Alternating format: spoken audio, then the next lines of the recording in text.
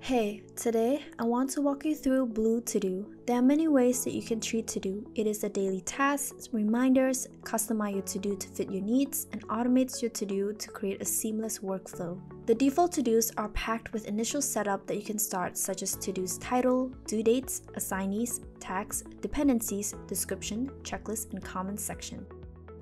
Starting with To Do's title, you can enter anything that you want to get done, then add a due date so that you can prioritize your day to day work. If you're working with a team, assign someone to the to do so they know what to get done. Categorize your to do by adding tags to differentiate the types of work such as growth, design, and development.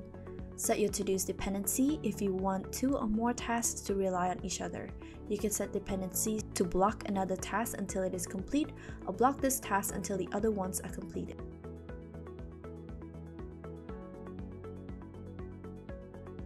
Add your descriptions to your to-dos, for example, meeting notes, images, or quick ideas that relate to the to-dos.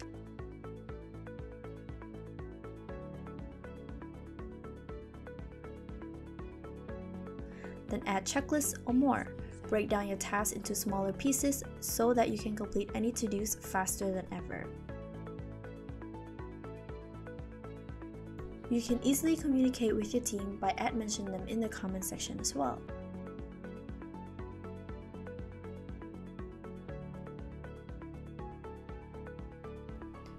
Did you know that each to-do comes with a reminder feature? Let's say you want to follow up with a certain task, you can set reminders to remind yourself to come check this task in a week or any selected date you prefer. You can also set repeating to-do for those who have weekly check-in or monthly maintenance. You can set repeating to-do so that the to-dos will automatically be created on the selected date. When it comes to customizing your to-do, you can add custom field. We have a great selections of custom fields from emails and phone numbers, adding extra dates or even formula fields to calculate the other respected fields on the to-dos.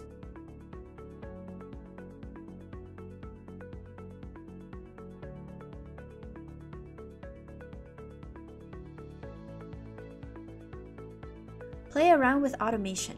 This will save you a ton of time with admin works, get rid of moving to-dos to each list, and assignees manually just use automation. Here are a few examples of automation. You can create checklist items directly through automation, and when you move to do to another list, add checklist. This is like a checklist template that you can just automate without manually creating the checklist.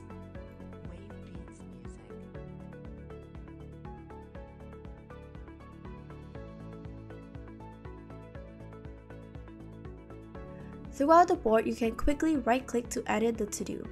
In case you want to quickly assign someone or mark something complete without opening to-do, you can right-click to edit fast and easily.